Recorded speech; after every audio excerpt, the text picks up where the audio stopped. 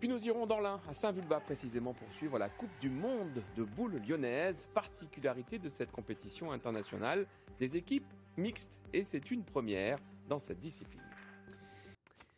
Ce week-end avait lieu à Saint-Vulbas dans l'Ain la Coupe du Monde de boules lyonnaises. Huit nations s'affrontaient. Et euh, ce qui a fait la particularité de cette compétition, c'est que pour la première fois, elle était mixte. Reportage Mathieu Boudet et Valérie Bonnet. Bon, on part pareil que, que depuis hier de toute façon. Non, on change rien, ça marche bien. Je démarre devant et puis euh, Pas de soucis. allez, ça marche. Ça marche bien, et pourtant, c'est la première fois qu'ils font équipe. Et pour cause, aucune compétition de boules lyonnaise n'avait été mixte avant celle-là. Dans chaque équipe, deux hommes et deux femmes. Pour Sébastien, le duo fonctionne bien. Super. C'est nouveau, hein, c'est la première fois qu'on fait euh, une formule comme celle-là. Après, c'est. Non, je déstabilise pas. c'est- Franchement, moi je trouve ça cool, ça change un peu. Et, et voilà, ça permet de jouer aussi avec les filles euh, qui sont dans l'équipe de France. Maroc, Slovaquie ou encore Turquie, huit nations participent, toutes en équipe mixte.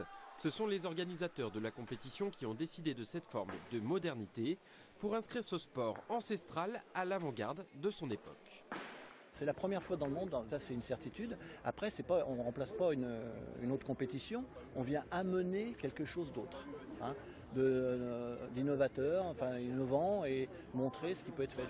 Il faut, il faut changer les habitudes. Il faut, si on veut avancer, il faut montrer autre chose que notre sport peut faire.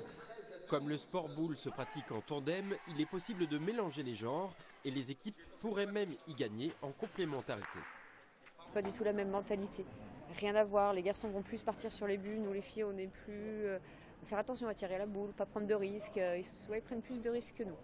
Ils ont des talents qu'on on n'a peut-être pas et vice versa. On a peut-être nos points forts et nos points faibles et on se complète assez bien. Enfin, nous, avec Seb, ça marche plutôt bien.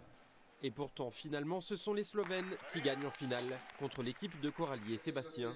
Mais ce qui compte, c'est que la mixité, elle aussi, emporte une victoire.